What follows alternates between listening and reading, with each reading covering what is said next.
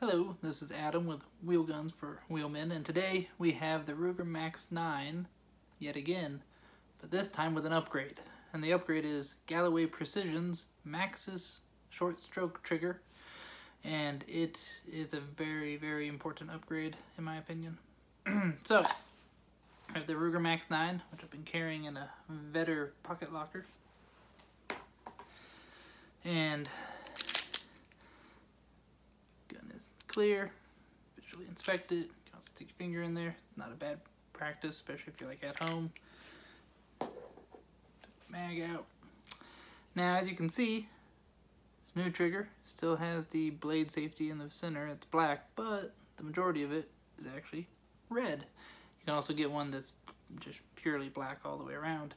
Uh, but the red one, uh, you know, was the one that was available when I was ordering, and I think it was actually listed as like $2 cheaper. Could be wrong, but um, I went the red one for that reason. Uh, now, um, the issue I had had, if you watched the last video, is the trigger that came with this gun, the factory trigger, had a lot of side-to-side -side lateral movement, lateral play in it. And if you put too much pressure on it laterally and pull back, it just literally wouldn't pull back. It would get out of its track, so to speak. Um, well this, as you can see, has no lateral play at all. Night and day difference. I love it. Also, um, the main reason they made it was that wasn't the selling point. Selling point is it's less initial travel. A lot less initial travel until you hit a wall. So it's a lot less creep um, in the trigger, a lot less initial travel, so it's a much smoother trigger pull um, for that first little bit and then it's just a heavy wall and then it's just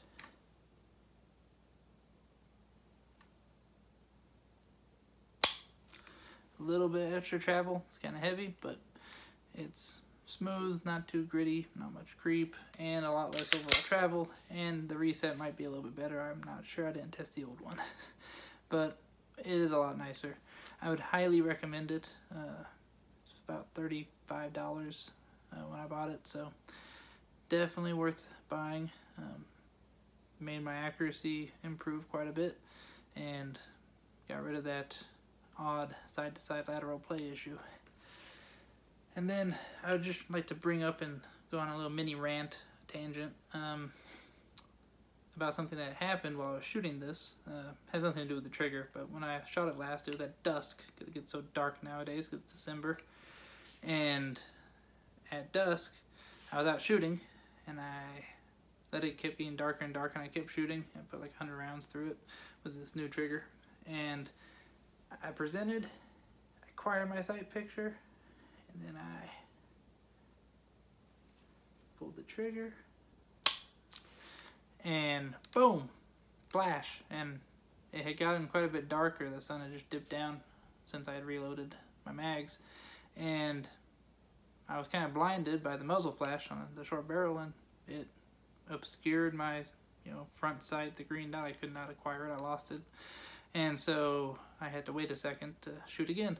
And I could have shot faster um, if I wanted to uh, but I would have had to point shoot. Luckily I practiced point shooting so I can do that and I did end up doing that for the next magazine. Instead of waiting I uh, did two or three shots at a time fairly quickly and I just acquired the front sight and then the next two I just held it steady and pointed with my thumb along the bore axis.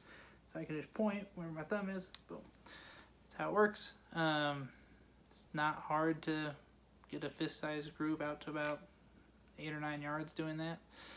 Uh, clearly at 25 yards, you're not going to be getting very good uh, accuracy when you're using your thumb to shoot versus sights.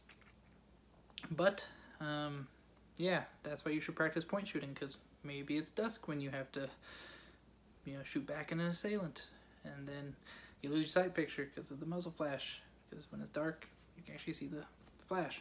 And so you should practice point shooting for that reason. Maybe your red dot falls off. Maybe your front sight walks itself out. Could be a lot of things.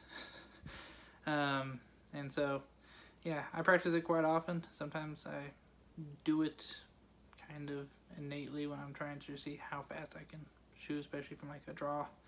Um, so, mini rant. hopefully uh, the review of the Maxxis trigger was helpful. Um, please subscribe, like this video. See y'all next time.